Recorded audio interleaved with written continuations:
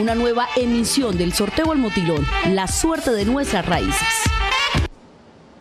Buenas noches televidentes, bienvenidos a un nuevo sorteo El Motilón. Hoy es 15 de febrero del 2022 y los saludamos en directo desde el edificio Rosetal.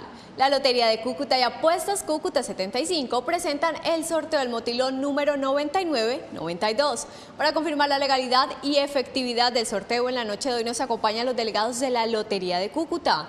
Control Interno de la Gobernación de Norte de Santander, Apuestas Cúcuta 75, JJ Pita y compañía. Señores delegados, ¿autorizan el sorteo? Autorizado. Muy bien, pues vamos a proceder a jugar las balotas. Mientras tanto les contamos que previamente se realizaron 10 presorteos y las balotas fueron pesadas y verificadas.